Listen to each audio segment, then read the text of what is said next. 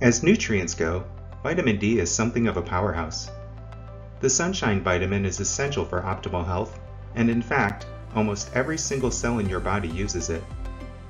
Vitamin D is crucial for the health of your immune system. During the pandemic, positive cases of COVID-19 with sufficient vitamin D levels had lower hospitalizations and milder symptoms than those without. While it's crucial for our everyday functioning, unfortunately, about 42% of the US population is vitamin D deficient. For most of us, spring and summer are the times when we can significantly increase our vitamin D levels simply by being outside more. However, during the winter months, it's more important to ensure that you are at sufficient levels. In addition to over-the-counter supplements, there are several foods that can help naturally raise your vitamin D levels.